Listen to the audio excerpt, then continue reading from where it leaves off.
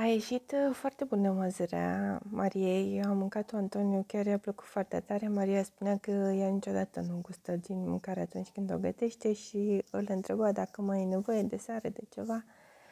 Antonio spunea că i-a ieșit uh, perfect și că așa să facă de obicei, gen să nu guste, că um, este frică să nu moară. Și mă gândeam că nici eu nu gust uh, din mâncare atunci când nu gătesc, mai ales dacă, spre exemplu, eu aș ține post și gătesc o mâncare de dulce, clar nu gust din ea. Adică, nu știu, probabil că ne-am obișnuit uh, gătind uh, foarte des, uh, cumva cunoaștem gustul mâncării fără să mai gustăm.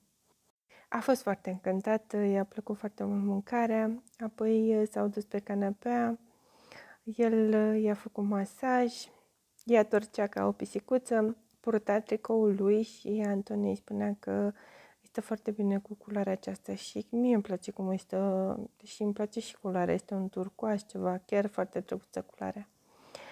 După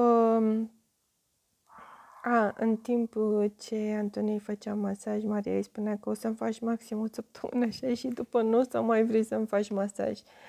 Și Antonie spunea, bă, nu, dacă asta este intensitatea care îți place și tu fiind atât de micuță, pot să stau lejer două ore să-ți fac masaj, așa că nu mă deranjează deloc. Ea torcea ca o pisicuță, chiar foarte tare.